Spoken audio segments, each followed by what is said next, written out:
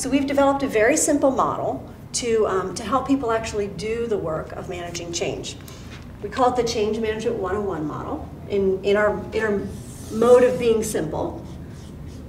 And there's basically three steps. Plan, do, and sustain. So our simple model is plan, do, sustain. This is the Change Management 101 model.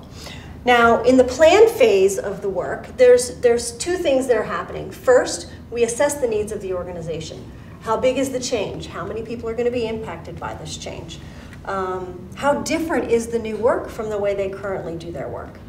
And then we also, in the plan stage, we, we create our plan. It's a detailed change management plan that talks about all of the work that needs to happen around um, aligning leaders, communicating, all of the th that work that needs to happen. So that's our plan stage. And then we go into the do stage. Very simple. First, we have to launch our communications to start to create the environment for change that we're looking to create. And then we actually transition the work. Um, we may show people how, that, how it's going to look by, um, by showing them some role models. We send them to some training. Um, all of this is this kind of do phase right here.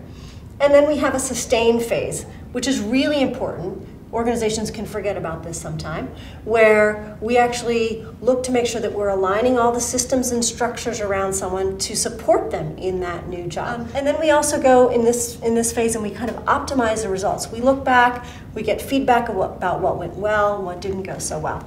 So plan, do, sustain. It's not overly complicated. There's lots of tools to get it done that are relatively straightforward, um, and it doesn't have to be rocket science to work. Um, so to get people ready, willing, and able, it's just a simple model, plan, do, sustain.